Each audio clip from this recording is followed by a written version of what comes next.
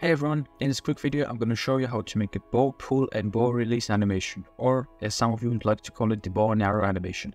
So let's jump right in. So first thing I'm going to do is I'm going to use the BPS rig version 4 and again the link will be in the description. It belongs to the Squared Media YouTube channel and I'm going to leave uh, the YouTube channel and the Discord server in the description. Now the second thing I'm going to need is the BSS or the Boxscape Studios rig pack. I already showed you in my beginner tutorial series but for those of you who haven't seen it then you can click the link in the description, open up the Boxscape Studios pack, go to their website and then download their asset pack and then be sure to organize them in a folder. I'm also going to leave a link for the, the website and also I'm going to leave a link for my video where I explain how to download this and set everything up.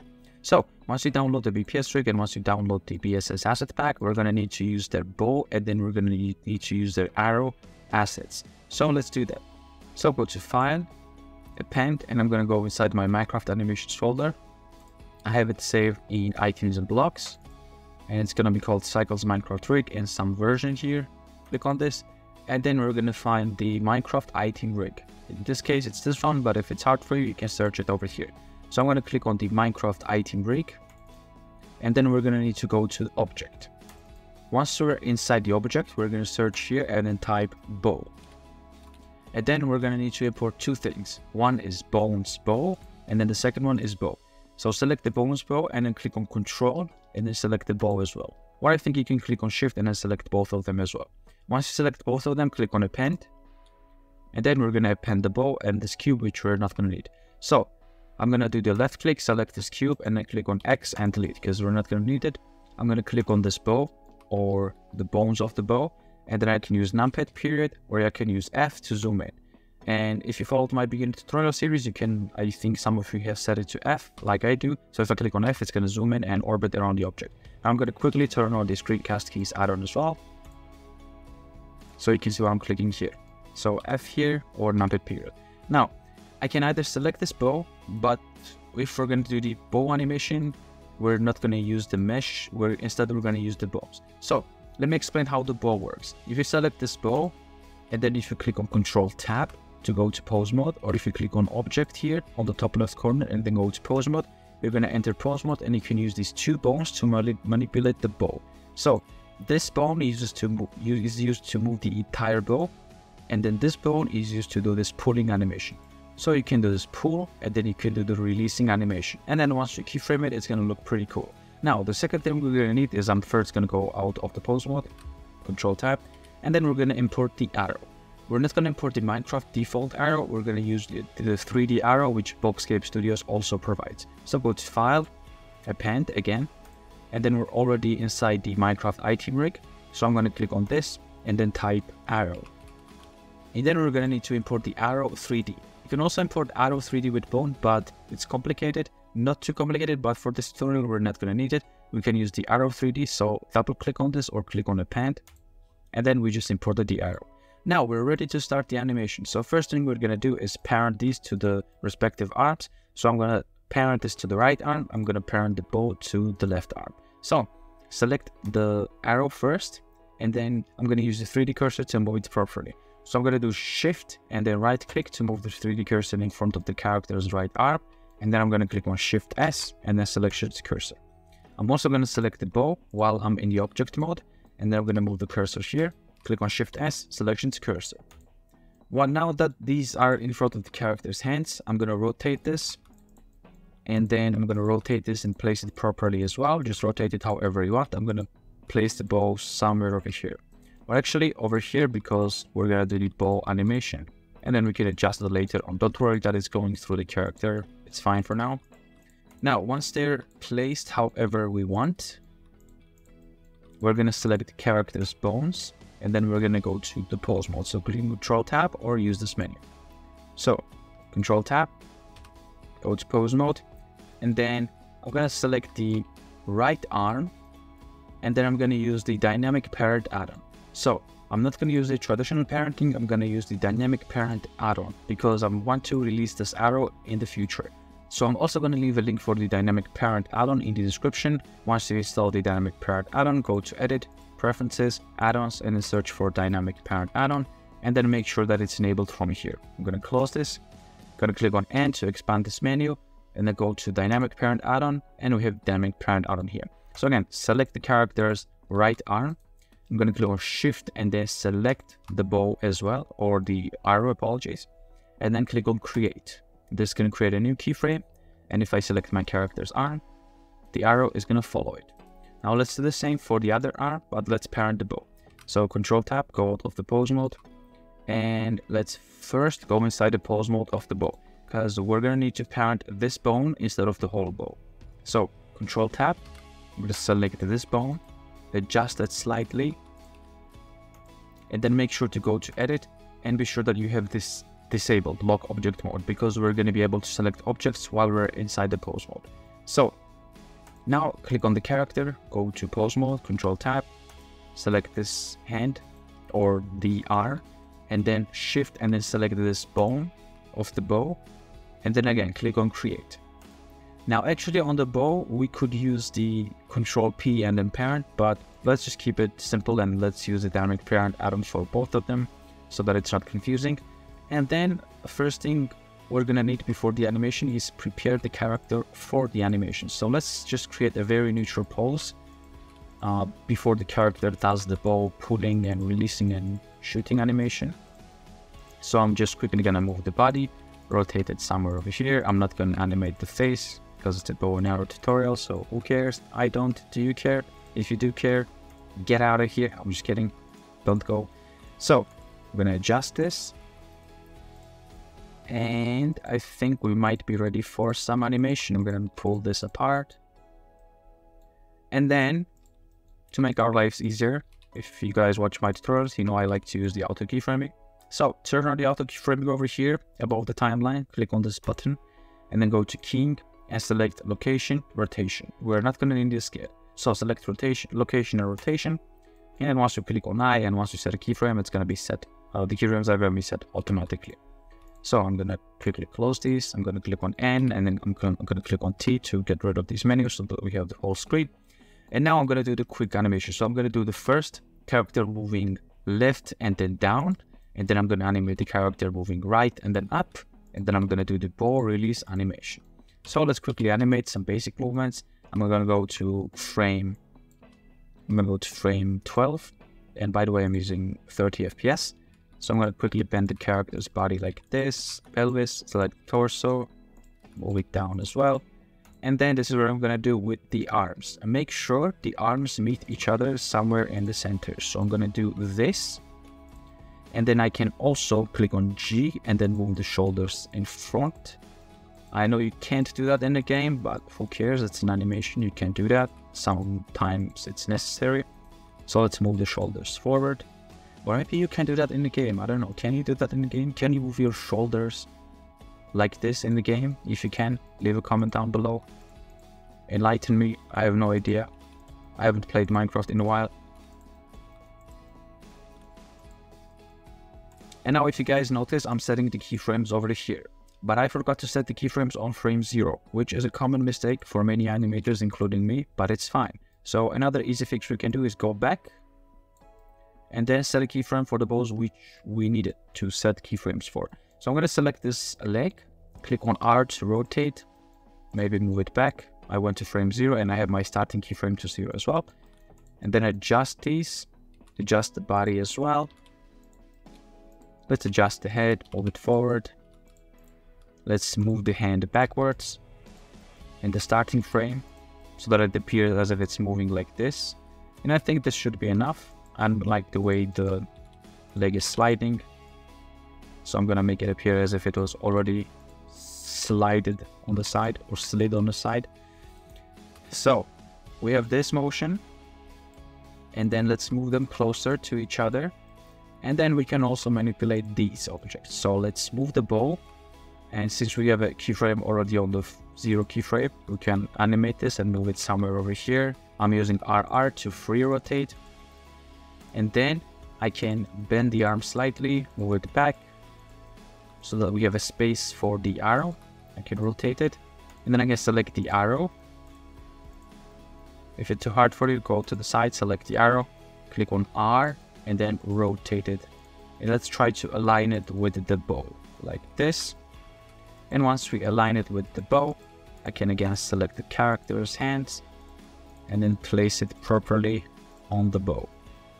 Now we have this small motion and the last thing we need to do before the character releases the bow is select some of the bonus which we want to animate. I'm going to select the body, hands and the legs as well.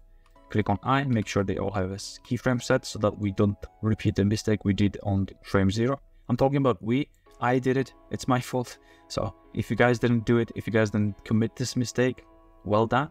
So let's go to frame 24 and then I'm going to click on select this pelvis, click on Alt R, rotate it. Then I'm going to click on R, Z to rotate it on the side because we're going to need to stay on the side like this. I'm going to select the leg, click on G, Y, and then move it back, R, Z to rotate it. Another tricky, cool thing you can do is instead of using the axis like GY, I can select click on G and then use my middle mouse to click on this and then snap the leg only on one axis. So I'm going to do this. I'm going to do this and I'm going to rotate the body this way. Let's see. Now I don't want to animate this leg too much. Let's see what we have. That looks slightly better. Now basically what I'm doing is I'm pulling the character on the side. I'm gonna move the head forward. And then this is what I'm gonna do. I'm gonna move the hand like this. I'm gonna rotate it slightly. Um, again, I'm gonna keyframe the bow. Place it like this. And then I'm, I'm gonna adjust this hand accordingly as well. I can take this again, G, move it on the side, G, maybe move it on the front, place it somewhere over here, and since it's not placed properly, I can select the forearm, move it forward, and then I can select the arrow, and then adjust it as well. Hopefully I'm not going too fast. If I'm going too fast, leave a comment down below. And then another cool thing we need to do is, if you remember, let's place the arrow somewhere over here, but we can fix it later. So select the bones of the bow and we are already in the pose mode. And then select this bone. If you remember, we're going to use this for this animation. But as you can see, we don't have any keyframes here. So I'm going to go to frame 12. And then I'm going to click on I to set a keyframe for this. Now I'm going to go to frame 24. And then I'm going to pull it like this. I'm going to click on G and then move it back. Or you can click on T and use these gizmos to move it back and forward. So let's move it back. And then let's adjust the arm accordingly as well. So G, move it back, rotate it. It's gonna take some time to adjust, but once you get it right, it's gonna look pretty cool. Now this arrowhead is way back, so I don't want it to be way back. Maybe move it forward. And then if we rewatch our basic animation, we have this motion. Character takes the bow, and then prepares to release it.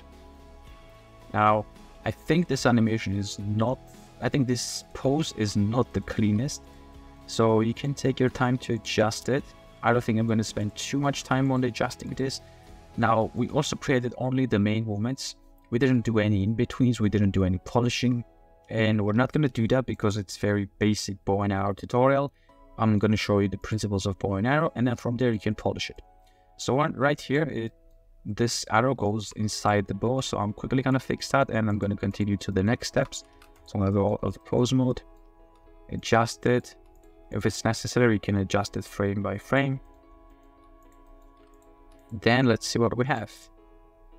Right here, as you can see, this arrow is back and this is not moving. So I can select this, control tab, select this and then move it back already on frame 17 as if it's already moving back. Let's see what we have. And then right here, I'm going to take this and make sure it's in front of this string.